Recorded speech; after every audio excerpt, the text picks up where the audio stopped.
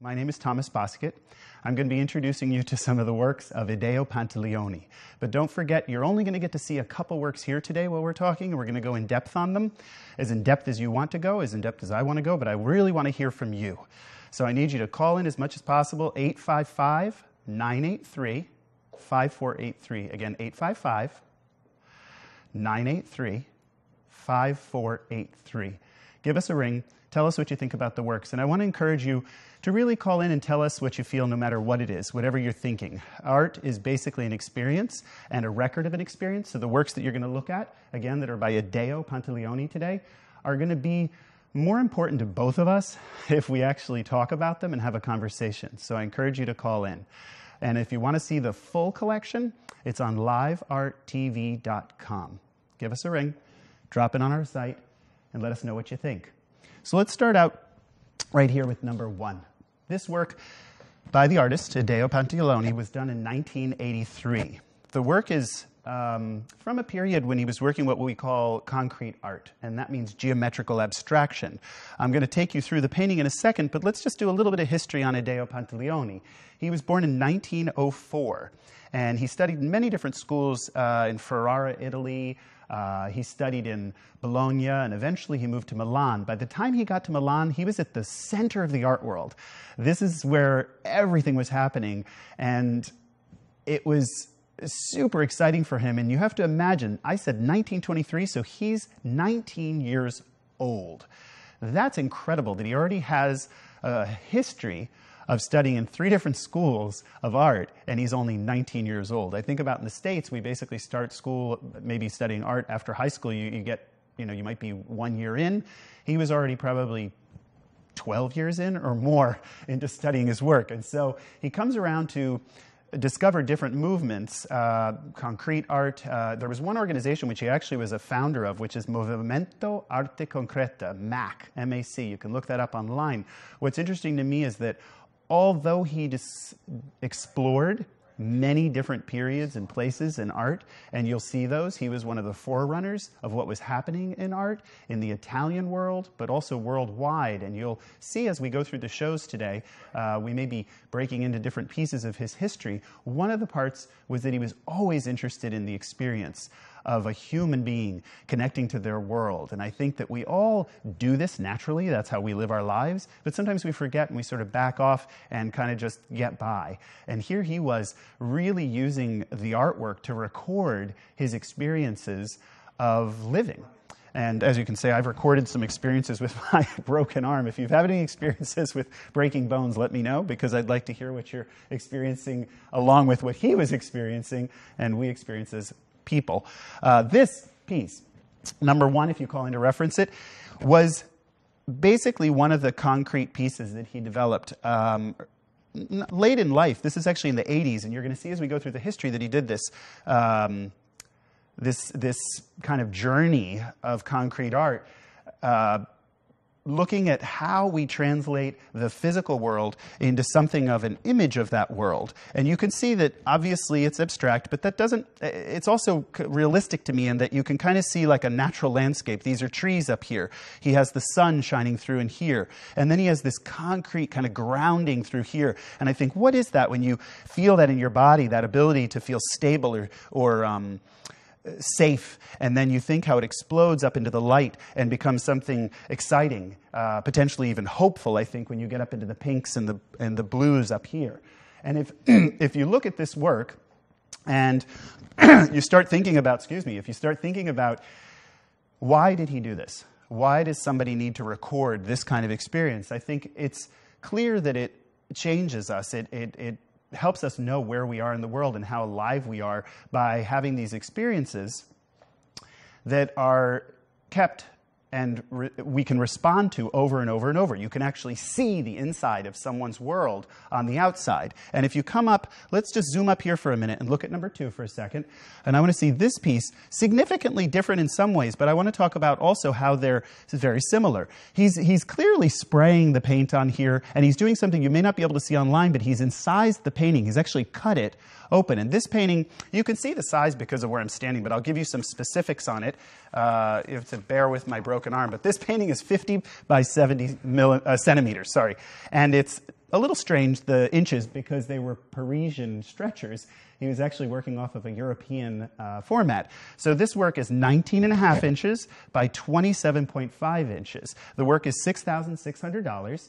And we were thinking about where would you put this in your home? What would be an appropriate place for this painting? And to me, it had to do with, and some of us here as well, it had to do with more of an intimate feeling, something like a women's dressing room or a den maybe, someplace where you're more enclosed and protected. And why do I say that about this work? Look at this work. It kind of brings in the waist like this, like coming in on a person. And you think it's a, it's a private place. It's some place of the center of the body. And the square that he's carved into it solidifies that place sort of holds it in a location so that you can you can it's almost like a meditation on this empty space here that's so full of the red it's like the nothingness full of everythingness. And you'll see it when you see it live um, that this piece is significantly uh, quiet kind of through here compared to what you see up here and down here. Down here there's a bit of a, a an excitement and a, and, a, and a, uh, what would i call this? This is like a I can feel my feet, you know, I can feel the ground beneath me, and it's the place from which my life begins. Now, as that life begins, you go through this quiet place, and then you enter into a sunshine and an explosion.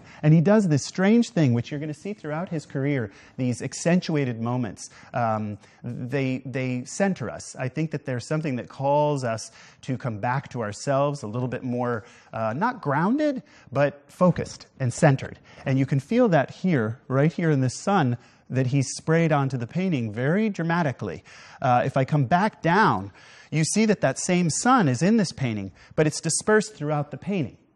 Now, this brings up an interesting point. Between these two works, he's starting to discover something called the informal, informale in Italian. Uh, what strikes me about this, is the informal paint movement was in contrast to things that were more what we call, believe it or not, abstract and plastic. The plastic was when you might paint a person's face and indicate every stroke of paint and every detail, and you sort of lose yourself in what the strokes really mean. The strokes are depicting a nose or a cheek or an eye or a lover's you know, smile, but they're not uh, they're not what they are. They're not the paint strokes. They are alluding or allusions to these experiences of physical reality.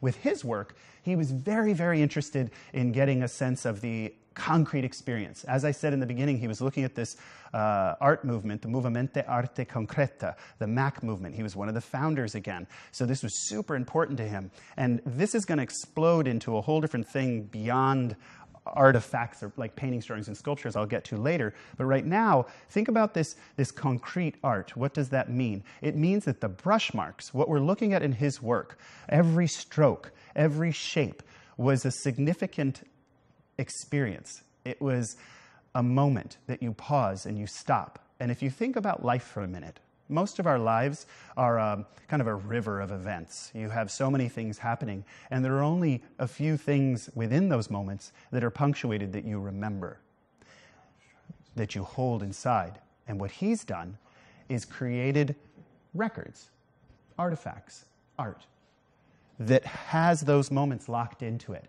So when I zoom through here, I start to actually experience what he was experiencing. And I want you to consider what do you connect with here? When do you remember a moment like this in your life where it wasn't only a natural place, but what was going on in that place? What were you excited about potentially? What were some of the most um, momentous moments in your life? Moments where something, where the sun was rising where uh, even if it's metaphorically and not literally, but it could be literally, where you felt the sun rising in your heart and coming up through you. And these two paintings have that in two very different forms. Sometimes the sun is, is kind of in the distance, exploding. Sometimes the sun is dead center, rising above your head and leading you forward. So think about this as you go along. What was he doing there? We're going to move on a little bit over here to a different time in his life. This is 1966. We have this work here. This work is called Outside the Lines. It is 60 centimeters, sorry, 92 centimeters by 60 centimeters. It is 23 and a half inches by 36 and just about a quarter inches tall. This piece is oil on canvas. It is $8,200. I want you to consider give me a call in a moment because we're going to get into this a bit and I want to hear from you. Our number again is 855 983 5483. You can find us on livearttv.com, and you are tuned in, streaming live at Live Art TV. I am Thomas Bosket, your host. Feel free to call me. You can call me Tom or Thomas. Don't call in as Tommy, and give me your, your suggestions, unless you know a Tommy that you love and are dear, and then you can call me whatever you want. Uh, you'll find us streaming live on Roku, Android, Amazon Fire Stick, YouTube, and Apple. So again, you can find the whole collection at livearttv.com. Right today, we're going to be looking at just a few of these pieces, maybe 10. Uh, we'll see how that goes. Uh, this piece, again, outside the lines, was done in 1966. now, this is a period when his work was very abstract but, and far less referential to nature. The earlier pieces we were looking at, you could see the sun and the movement. So you start to think, how do I, how do I engage in a piece like this that's so quiet, so meditative and calm? And I think to me, it's almost a place of, of mental reverie or memory. Uh, Excuse me. Yes, we have a we have a guest. Hi, I'm Diane. I'm the appraiser. Uh, Tom. Yes, ma'am. This is uh, candied orange slices. I forgot to give you that. Oh, beautiful. Because and those are candied orange slices. slices. So let's look at this piece. This piece is from 1983, oil on canvas. And again, it's $8,600. And you have a sense of the scale and the size and whatnot. But where all of a sudden, if we think about candied orange slices, we didn't go there in the beginning, right? We were talking about nature and all these things. You think, how does this have to do with candied orange slices? The first memory I have of candied orange slices was a hurricane was happening in Kentucky. It was crazy. And I was safe inside, and I found a package of candy orange slices, and it made me feel like everything was going to be okay. And it ultimately was. We were safe, but it was a real turn on to have those slices and be excited about something safe and inside me candy. So again, I encourage you, talk to me about your associations here. It's 855 983 5483. I want to hear what you're thinking. I'm going to keep moving on. If we go back to that, it's because of you, so give us a ring. If you get lost, just go to livearttv.com and our numbers are all there and you can find us, okay? So let's take a look at this piece. Uh, again, it's outside the lines, and you have to excuse me. I have a broken arm, so for two more weeks while you're tuning into us, you're going to see me trying to flip through this stuff, and eventually I'll be far more facile. Uh, this piece is uh, an oil on canvas. It's approximately 23 and a half inches by 36 and a quarter.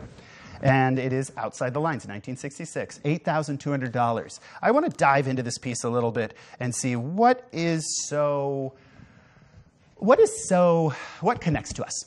You know, what is so important about a piece like this? And I think it is important because it's, we all are different people. And we might have seen those two pieces, numbers one and two, and they might have been like, man, not my thing. But if you look here, if you call in, make sure you reference number three. We can always come back to it. But look at this piece. It's, like I said, very quiet, very linear, and it feels almost like a mental space, you, you, like a map that you're looking from above. And I think, okay, that's you know the basic architecture of the piece. It feels a little bit natural, but um, quiet much quieter. I have to take a breath, enter a different part of my body. Because over here, it's very exciting. Right here, it's kind of calming.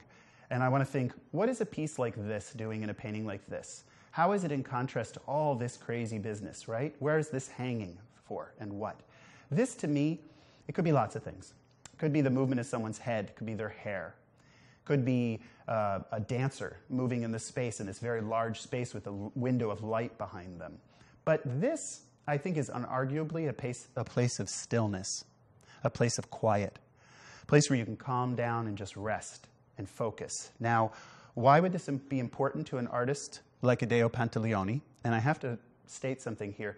He signed his name Panta after many years of painting and always signing his name, Pantaleoni, which you'll see down here, Ideo Pantaleoni, 1957. We'll get to that piece later.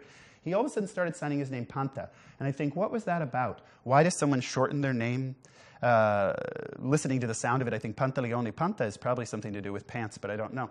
But Panta, Panta, what does it mean? It's like a punctuation.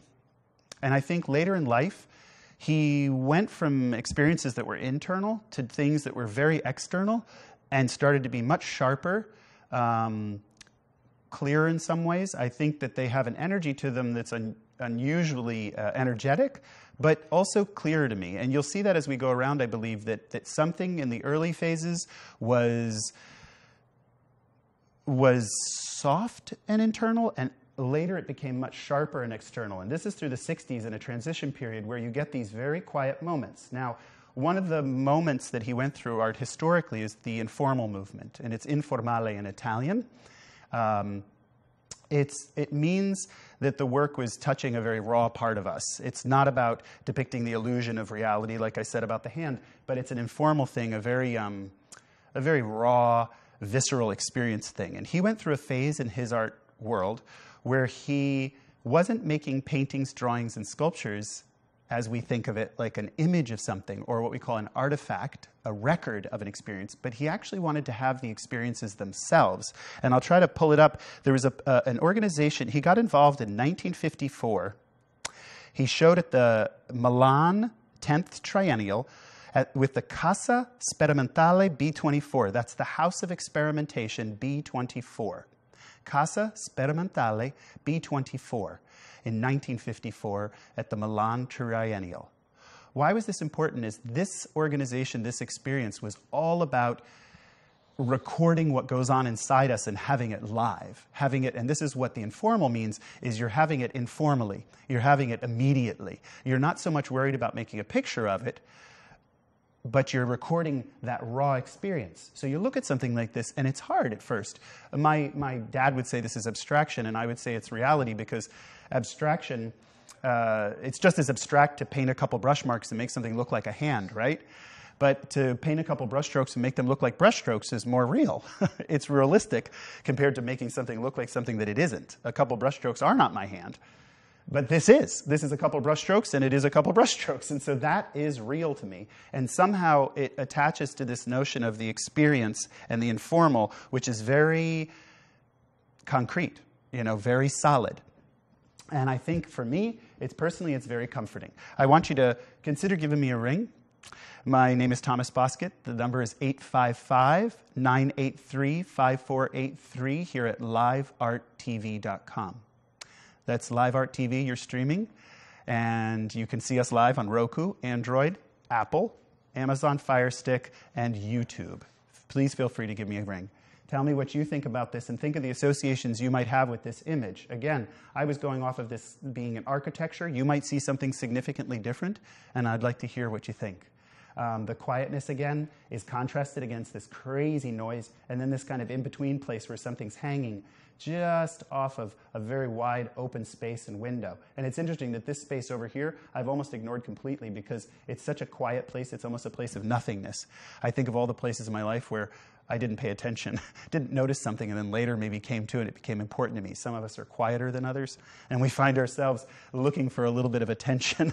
that could be that space right there where you come into attention. So if you can tell me what this means to you, I'd love to hear it. If not, maybe I'll come back to it later and we'll look at it. Now, we're going to zoom ahead. I'm going to have you see a whole bunch of stuff and make you a little crazy as we pass it. If you have any interest in any of these pieces, let me know. But what I want to do is try to get over here, Rich. If we can get right down here, let's zoom around. I don't know if you're comfortable doing that, but we'll take a curve. As, as Rich is doing that, I'm going to stay right here and let you know that we're looking at some pieces by uh, Ideo Pantaleoni. This is the painter, and these pieces are from all different points in his history, and we're coming all the way over to this piece right here in the corner, number 11. If you're calling us in, you want to reference this point. And what this painting is called the Garden of Fire. This is one of the most unusual paintings he's ever done. This piece is $8,200. It's an oil on canvas. It's 31 inches and a half by 40 inches wide. It is on canvas. It's on actually a beautiful piece of canvas that uh, I don't know if you'll be able to see the texture from, from uh, online, but it's, it's wonderfully rich canvas. It's actually got a, um, a toothy texture to it, which in the different weaves that they did over the years, um, artists would sometimes have very, very fine canvas, which was more for a portraiture or something where you wanted to see skin. But then in something like this, they wanted you to see the surface of the painting. And again, this is Ideo Pantaleoni, an Italian artist working in eras from about the 20s all the way up to the 80s. And this piece is extremely unusual to me because it's almost like everything was let go. Like he had the most freedom he ever felt in his life at this point. Everything exploded. There's a whole bunch of air, there's a whole bunch of space. Everything is starting to let go. Almost every point in his life, you'll see that he held on to the geometry, the calligraphy of the strokes, everything was very pulled in. And in this particular, very unique piece, he let everything go, and it's free as heck. I mean, it's just flying. You see this green down here exploding up into the light. You see the blues, these unusual blues kind of darting through here that are lighting up and kind of connecting the, the different zones in the painting. And then you have this ultimate release into this light sky. And this is late in his life. This is his maturity. He's 82 years old. So if you see anything on these walls that you think are amazing, you have to think that this is the culmination of all of that. This is a man pulling together all that mattered to him into something that we get to visit. Um, and maybe, honestly, I don't even think I, I understand it when I first see something like this. I feel it. I understand it in my, my, my gut. But I don't necessarily understand it in my head yet. I understand to feel it and to look at this piece and see the life of it. And so for me, I'm standing here in front of it, I'm getting all this wave, and I think, what type of experiences, again, have I gone through? What things have I been excited about that remind me of something like this? And I, it's really extreme situations in my life, like graduation. When I graduated from college, or when I see one of my nephews born, and for the first time I realize I'm an uncle and all these things are happening to me. This is the type of painting that's like a celebration of a great experience in our lives. And I want you to consider what have you had that lights the fire in your belly? And give us a call at 855 983 5483. Tune in at livearttv.com and give us a ring. My name is Thomas Bosket. I want you to feel free to call me up. Let me know what you think. And what does this remind you of? What experiences have you had what experiences have excited you like a fire that come up from underneath? This was Garden of Fire we're looking at. Look at this piece again. Take a quick glance, and we're going to back out a little bit and take a look at these two pieces together because this is, this is quite strange to go between these two and try to discuss it. This piece is called Defiance. This piece up here, this is $8,600. This is a period when pop art was in vogue. Andy Warhol was doing his work, and a lot of artists around the world were influenced by this. What interests me a bit is this piece was painted in 1960. That's extremely early for pop art. The pop arts that we think of usually are in the later 60s, and here you have something very early on referencing that period, and it's an unusual piece. There's, there's a lot of obvious chunks of color and electric nature to it, not nearly as electric as what's below. It's contained. And what struck me about this piece, something about her eye. Something about her eye is very unusual, and maybe her hand here, but her eye has a, a more human, gentle, um, complex nature to it, in contrast to the bold simplicity of these shapes and the electricity of these pieces here. The pieces around it, the color around it, is we could say primary. It's red, it's green, it's orange, it's blue, it's purple, it's yellow, it's actually every color of the rainbow. But it's, to me, there's something about it that's not primary. Primary to me is raw. And there's, although this is exciting and electric that way, it's not totally raw. And you can see it in the eye. The eye is incredibly beautiful and subtle.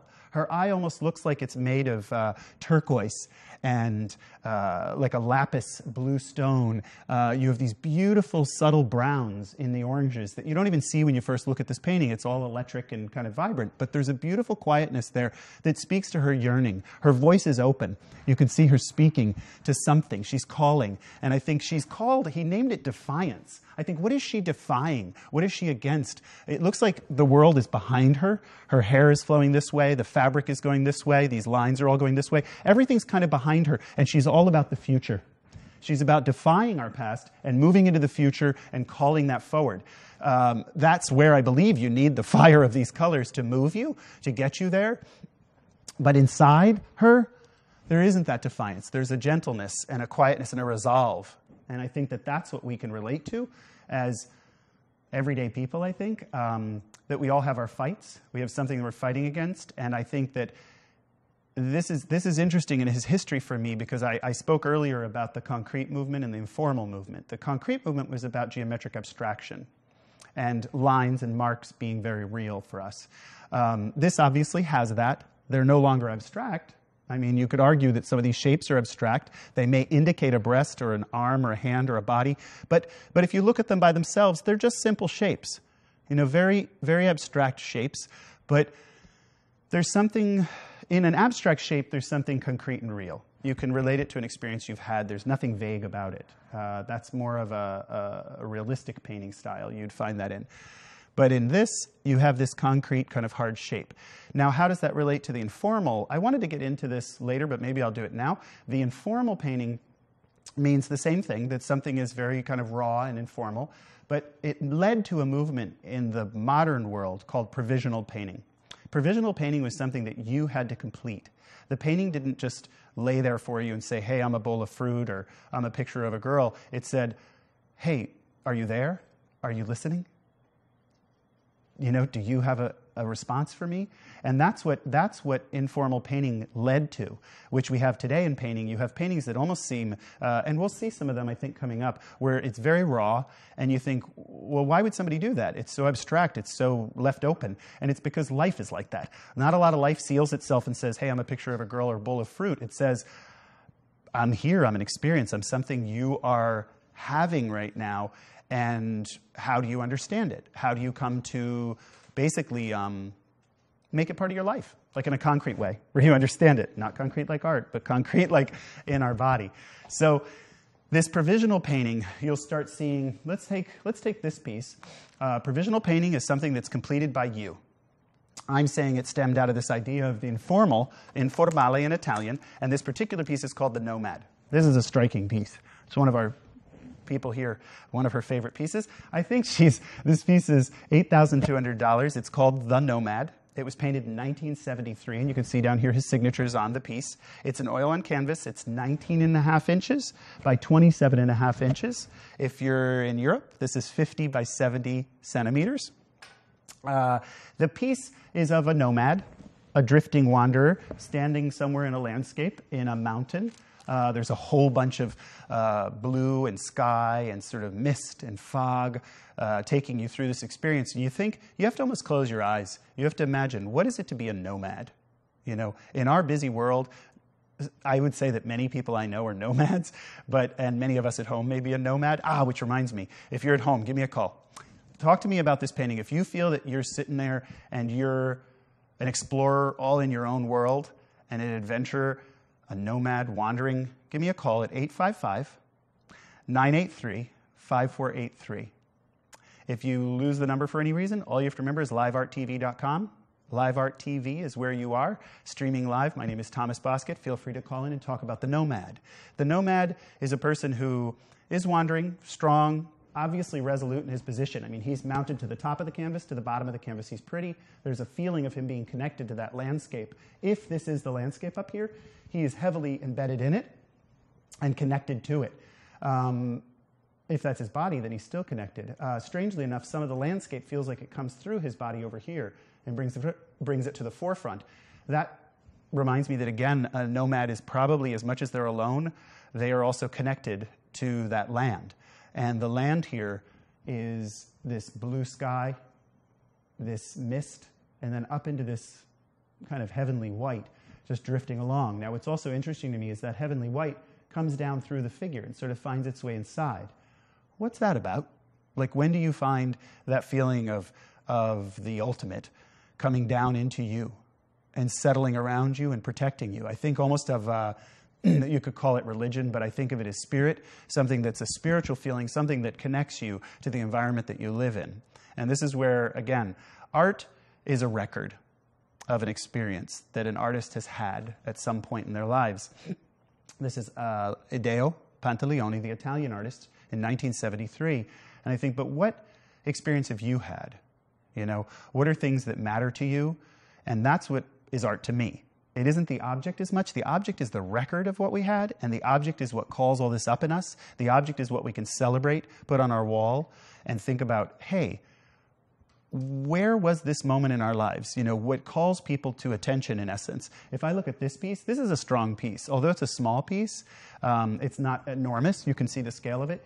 It's a really strong piece. It's something that, it's a declarative piece. To me, this is a living room piece because it's something so strong. I, I mean, I could put it in an intimate place. It'd actually be a beautiful bedroom place, but it's a strong piece. It's not something I would tuck away. It's not something for a quiet room. It's something of a, of a, a stand on its own statement. Um, and it feels like a celebration to me, something that I can. Um, Ah, I'm thinking of the word. The word is, it's not even a word, it's in my body. And that's why I said close your eyes, because I can feel this person being so solid from the inside out that there's no fear, that there's a safety even in all the fears that they might have, but they, they trust and they're moving forward. And I guess that's what I think of as the spirit in this, that it's so resolved to do something, to look at that heart. Yeah, look at that heart.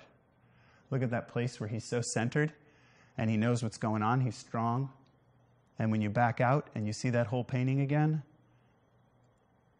you're going to see how that heart connects to the body and how it rides through to the landscape, takes you back through the landscape into the sky, and then up through the sky, you come all the way back down, and you find these rivulets, kind of like rivers that go inside of us, connecting all that hope and that light into the being here.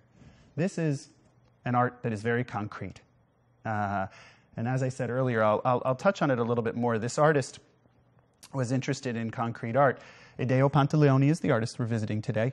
And he was involved, he was actually one of the founders of the Movimento Arte Concreta, the concrete art movement. Uh, this is abbreviated MAC, M-A-C, and he was one of the founders. This is a huge kind of moment in his life where he connected to art being an experience, something that you feel, that you connect to. It's not just the artifacts that we make, but it's the experiences we have in our body. And how do we get that into an image was his whole mission. He was all about trying to find a way to clearly bring those experiences. And, it, and at a certain point in his life, he actually wasn't limited to painting, but he participated in events that got kind of crazy and synthesized all these things together, uh, leading to where we are now in the world, which is an art that is far more. Um, uh, provisional was what I was saying earlier is provisional, dependent upon us to interact with it, which I think is happening all over the place. Now, we're going to keep moving along here. I'd like to look at this next piece right here. This is Ideo Pantaleoni in 1968. This piece is called Subtle Illusion. It's an oil on canvas. It's 23 and a half inches by 36 and a half inches. It's $8,200. This is a very uncomplicated piece, somewhat minimal, I would say, uh, although it's got a lot of energy in here, you know. But it's, it's quiet on the sides. Well, I don't know if you'll be able to see the, oh, you can see it actually on the camera pretty well there's these beautiful subtle color shifts. It goes from pink to kind of an orange yellow to green to gray. There's a ton of color in here, and actually much more in the real painting. You'll see uh, if you decide to purchase this piece, and I think you should. It's a beautiful piece. It's a really beautiful, striking piece. Um, we're going to go into it a bit here because there's an unbelievable uh, story going on here of this being this sort of strange being, and it's almost like a Chinese landscape, too. If you come up to the mountaintop and there's this crevice you tuck into, give me a call. Uh, let me know what you think. I'm at 855 983 5483. That's 855 983 5483. We are streaming live on Roku, Android, Apple, Amazon Fire Stick, and YouTube. We are livearttv.com. I'm Thomas Bosket, your host, and I look forward to hearing from you. You can find us on livearttv.com. Please drop in, say hi, and let me know what you think of this work. This piece I, I could say complicated, but I, and I guess it is, but it's complex. It's, it's got a great density to it. I think a lot of people can relate to this, um, this, this being a part of our lives, the complexity of life and the craziness. Um, this is all internal to me. This, this painting is all about the inside of this being right here and what they're going through. There's an unusual moment right here in the painting where you go down through the painting sort of you know, uh, in depth and three-dimensional illusion, uh, which is rare for him. I think most of his paintings tend to be more on the surface because he wanted to remain that concrete connection to life. But here he dives in and takes you on this journey down through the painting. And while you pass through there, you see these blood red marks. They're kind of like cherry stains or something. Um, uh, like a, an intense love or a richness in life. I don't know if it's love, fruit, uh, but it's intense and you can, you can feel it, but there's not too much of it. It's just enough that it pulls you in and holds you there, and you fall through it. You can feel it sort of writhing off to the side like this, like ribbons, and then it comes down and stands on the, on the bottom of the painting. There's a great deal of strength down here. This painting has a great triangle here that holds all of this, and then everything up here sort of flows and flies off of that and, and, and rides down, I guess, into the, to the wind and the space behind it. This is unusual that this side is so dense and heavy, but yet balances out beautifully with all the pieces that are going over here and all this activity. You almost need this anchor to hold it in. I think, what is that anchor? That's something we lean on. That's almost like a friend that I find some security and some stability in. And I think I'm, I mean, I'm not here maybe to be your friend, but I feel friendly enough to say, you know, feel free to call me. Go to livearttv.com, catch the number, uh, give us a ring. I'm at 855 983 5483. We're looking at the Italian artist Ideo Pantaleoni today, and I'd like you to take a look at him, see what his works are about. We're going to go to a couple more works today and take a look around, but um, I'd like to dive into maybe uh, a moment that he had in his life. Uh, it's interesting. He, he said when he ended, when he was ending his life, actually, it was, "I have disembarked in a world full of color, with a rational composition outlined because I think for me, painting is above all color." So, what does he mean here? He disembarked in a world full of color. That makes sense with a rational compositional outline. So, if you look at the outline in this painting and you look at the uh, color that's in it, they're, they're almost like two different animals. The outline is all this energy and excitement. The color is inside it. The color is clearly sort of embedded in this image in a way that's different than the color being declarative. I don't know if we, if we can glance just a little bit over here, you'll see color that's very bold. It's red and whatnot, you see that. But if we come back here for a second, the color is much softer. The red that appears here is what we call filmic color. It's color that um, it's like film. You can see through it, uh, but it also feels like film. It doesn't feel like something concrete. It feels like something that you feel as a sensation, you know, something inside you. And that's what he's doing here in this whole piece. He's looking at these edges uh, of, the, of the shape or whatever the brush mark, but then the color is sort of infused into those shapes and edges. It's something where you, you, you kind of have a dichotomy between. Um, what it is physically, it's a thing, but then what it's full of and what it, what it feels. And so he's playing with the two worlds next to each other. So again, we're going to leave this piece for now. It's number 14. Feel free to give us a call. We can talk about any of the works we've discussed today if you come through halfway. And we're going to head on to the next piece. Um, I'm pretty excited about these two pieces. Uh, we're going to talk about these maybe a little bit together. We'll see. You ready over here? There we are. We're going to look at this one first, maybe, and then we'll come down. This is number 15. This work is called Passion. I don't think you have any question there. She seems pretty passionate about what she's doing. She's got nature all over her. We're going to talk about that in a second. This piece is $8,600. It's oil on canvas. It is 19 and a half by 27 and a half inches.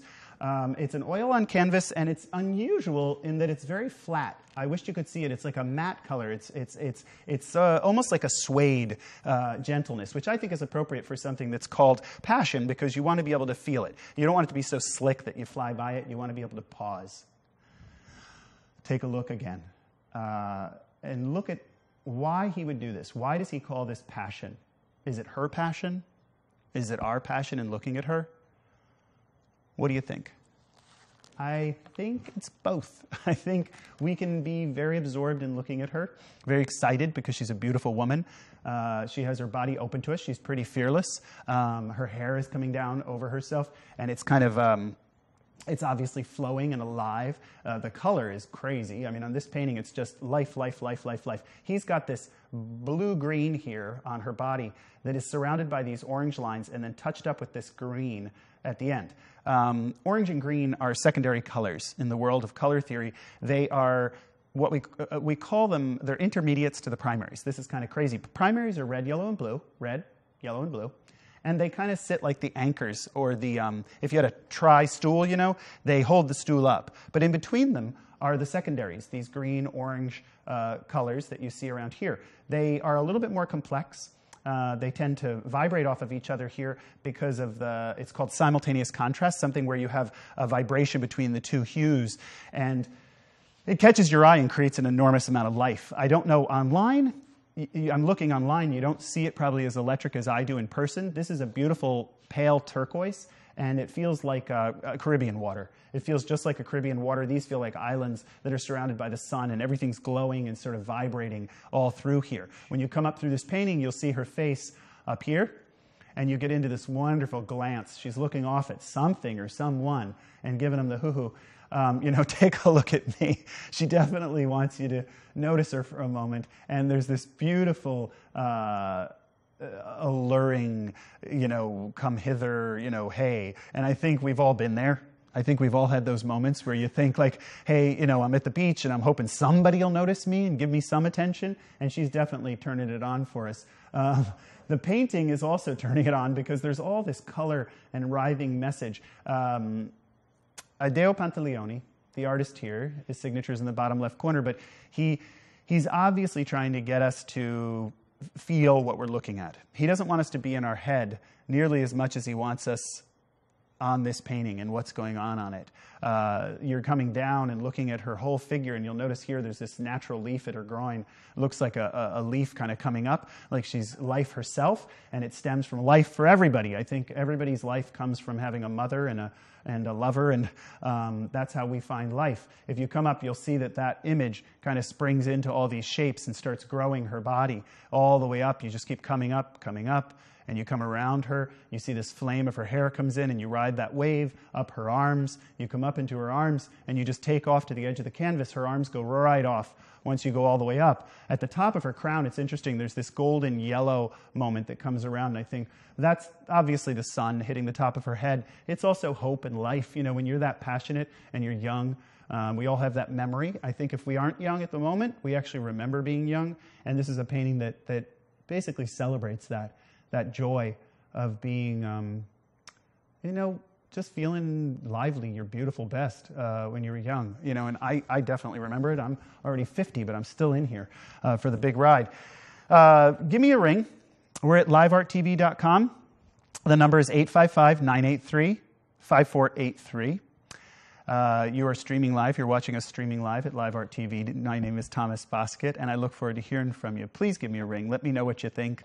I, I know that sometimes it's difficult to put your words on the line, but it really makes art what it is to actually talk to each other and have a conversation. And anything that you think uh, is a valid thought, anything you feel is a valid feeling. I want to hear what that is and I want you to share it with me. Uh, together, we can kind of draw it out, see how it relates to these images, how it relates to your life. You can tell me a story about some of the things that these remind you of. That would be lovely, um, just to hear what you're feeling, what you're thinking. I want to head down here, right over here to this piece, and focus in. Now, I might squat down here so I can talk to you.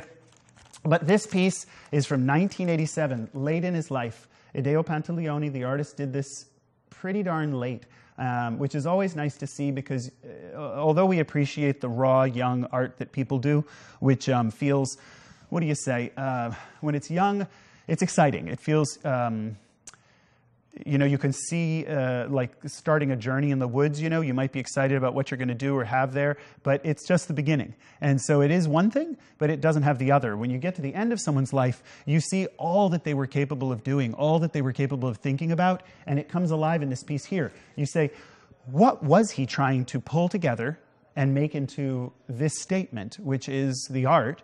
Uh, this piece is called Mosaic One.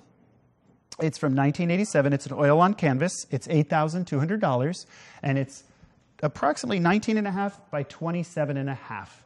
Uh, it's got a beautiful frame on it, actually, that, that has a soft white, kind of uh, a warm white that kind of connects all the pieces inside here to what's going on. Now, this piece, if you're European, is 50 by 70 centimeters, oil on canvas again, and this is a, a tough painting to unfold. I think anybody who's experienced a complexity in life will appreciate this painting because there's an enormous amount of complexity.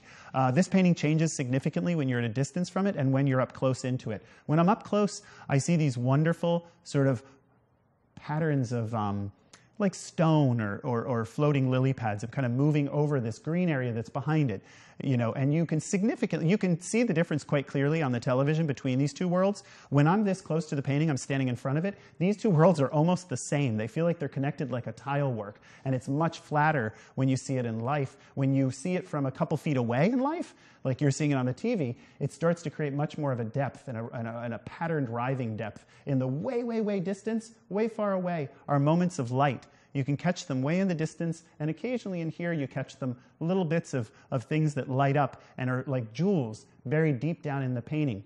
This painter, Ideo Pantaleoni, was so far not very recognized in the United States. I think he's getting more attention now, and you're seeing him on your TV for the first time. Maybe you will recognize that he obviously has a beautiful uh, sense of of what it means to record our experiences, to connect them to what we're living in our lives. He's for me, this piece um, is, is mental as well as it is physical. He's developing something that's called art. It's the art concrete, which is uh, concrete art was basically uh, geometric abstraction. Uh, he synthesized it with something that was more about the experience of art, which are what you call the plastic arts, something. Um, uh, far more experimental and uh, futuristic, which ultimately led to something called provisional painting. Uh, he's one of, to my mind, he's one of the founders of, of provisional painting via informal. The informal being more guttural, more brute, more. You'll know of artists. Uh, uh, what's his name? Uh, Dubuffet. Look up Dubuffet. You'll see D U B U F F E T. Uh, a wonderful artist that had a brute quality to him. His style is definitely before that and feeding that, um, where he brought the very immediate to art. And I think that something like this you feel that immediacy, and you'll definitely feel it when you see it live. Uh, you have to see this canvas uh, live. It's really wonderful. The patches of color are hard to explain, but they're well, they're, they're solid. They're really solid and, and holding the ground, and then they're broken by these patches of other colors. The red and the green in here are breaking the blue, and they're creating this kind of fragmented, uh, crazy motion that's held together by this, these swaths of blue that are flat and sort of anchoring all of this in. And then he's built an unbelievable structure. This is, I mean, it's called Mosaic um, 1. I'm sorry, Mosaic 1, 1987. But it's, it's, it's much more than a mosaic. A mosaic stays in pieces and tiles. This is starting to tile in three dimensions. Uh, if you think of looking on the internet, you know how you'll read linearly and go through what's happening uh, in a text? Like you're reading a book. But when you go on the internet, you have highlighted words and you can dive down in. This is doing that. It's what we call um, like a hyperdive. You go across the image and you can go down through the image. And these blue patches, although they're anchoring the painting, there's these wonderful layers that go down through the painting and rise up on top of the painting. And I don't know if you can see it. These little yellow patches that are on top, there's yellow pieces in here occasionally that are actually sitting up on top. And again, this brings me back to why would an artist do something like this? What does this record in your life? Well, think about how you deal with space and time think about how you experience something, right? If you go to a, a room first, right? You enter the room, and then you start to experience uh, a cake. You think, okay, I'm at a birthday. Um, but then you see candles, and then you see smiles, and then you see family, and then you also have the experience of what's going on inside you, your heart, um, your your thoughts, you know. And I think, how does somebody record all of that in an image? And I think this image, for me, he's talking about bringing together beautiful, sort of natural, uh, landscape like water lily. Um, ah, I didn't even think at first that this is so much like a beautiful water lily painting by Monet. It's a, it's a 1984 version of that moment. Uh, but it's this wonderful electric sort of journey through time where you have all these different moments, you know, coming into a space, seeing the event that's happening, and then seeing the emotions and feelings that connect to that event as you move through it. And that's what this work is doing. It's a record of almost a, a celebration, and you really would enjoy catching the moments in this. There's a beautiful moment right over here.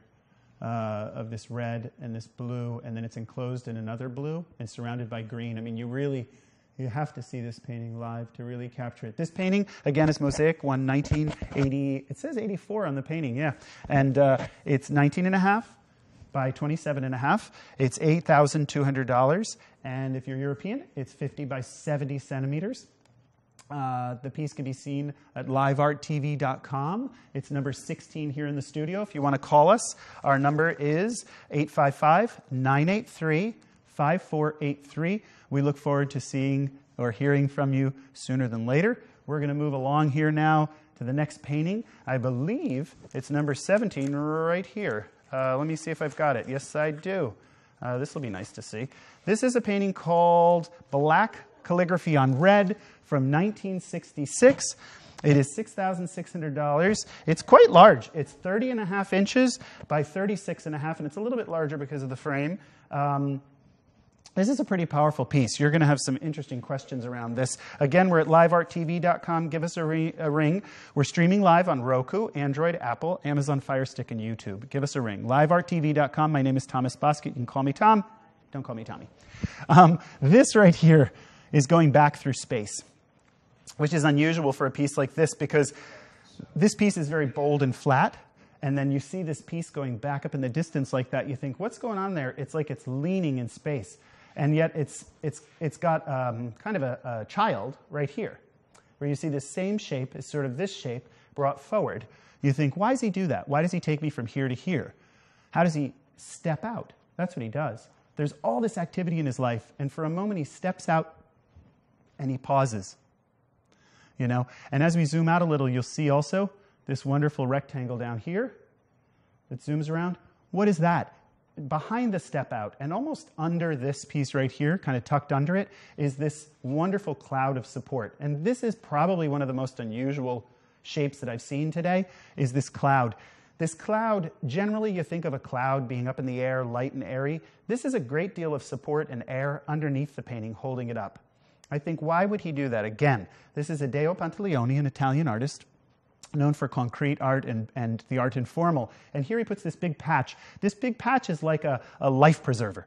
It's something that holds me up and breathes a little bit so that I can come up into all this experience. Look at this craziness. Look at this wild life that he's leading and all the activities that are happening. There looks like a little person sitting here leaning their head over. They're eating something. There's another person in the room with them. There's a lot of activity. And then again, we talked about this earlier. He comes up to this beautiful, quiet nothingness.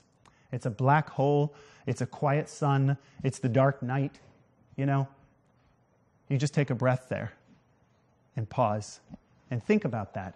What it means to have that peace, you know, just a second where you come on down and calm on down. um, we're going to take a little break right now. And it'll be uh, just coming up. we're going to take a break. It'll be a few seconds. And we'll come back for the second half of this show. If you've enjoyed his work, consider sticking around. Maybe grab a coffee, take a break, grab a sandwich. Um, but we're going to take a little time off. Let's wrap up this painting first. I'd like to have a few more minutes. Uh, we come up here and think about think about what you're looking at as a whole for a moment. You've got this kind of couple of beings in this room. You've got this step out space, which is clearly, I would say, a mental space. It's not a physical space. It's something that you jump up into. You have this life preserver. What's going on in this room? I wish you'd call me at 855 983 5483. That's 855 983 5483. Give me a ring and tell me what you're experiencing. If you're there at home, resting for a moment, and thoughts are going through your head about what this work is about, this beautiful sun, kind of black sun, pause, this being sitting in this room, this moment that jumps into space, and this survival, think, what is this piece about? This piece called Black Calligraphy on Red, 1966, oil on canvas, is $6,600. I want to know what you see here. I want to know what you're thinking. I want to know how you feel about this work. This is an unusual work, and I ask you to do me a favor. Go into this work for a minute mentally. Take a second to really embody the work. Forget about it being in your head for a second and just feel what it's like to sit in a room with another person, to have thoughts about uh, a place that is almost just, just in your mind. It's not even a physical place, but an experience you've had or a space that you be that you have been. Uh, think about the experiences that have that, that hope or that, that lift in them for you and say, what is it like to be supported by another person? Tell me a story about where you've been supported and what thoughts led to that uh, or were around that experience that, that held it all together. That's what this whole structure is. This whole structure is all about holding everything together, keeping it contained. And I think that that's what makes this image ultimately as comforting, is something that we don't even talk about, which is this background. This beautiful gray background um, is like a linen.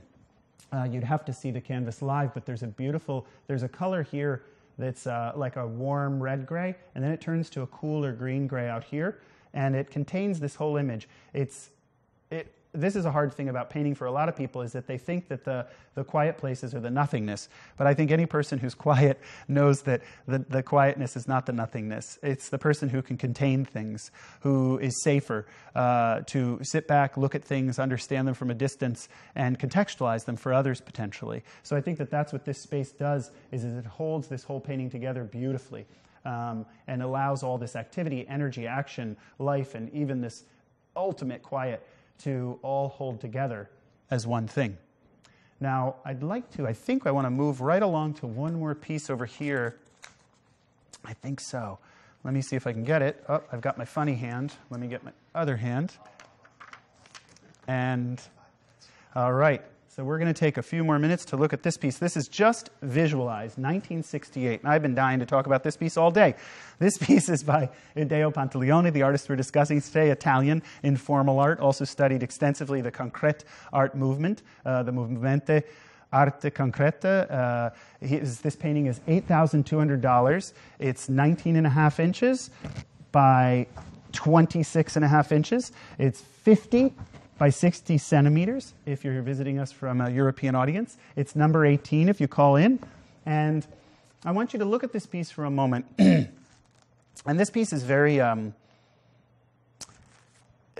it's, it's, it's very much so to me a derivative of his concrete movement because it's a moment in your life. It's one moment, it's one very very common moment to us, but special moment. When you sit down with your family and you sit and eat dinner, um, there's always a table of food set up for you. There's something there for you that is about communing, about getting together. And most of his artwork, I would say, I would argue, is about uh, some form of getting together with the experiences, being a human.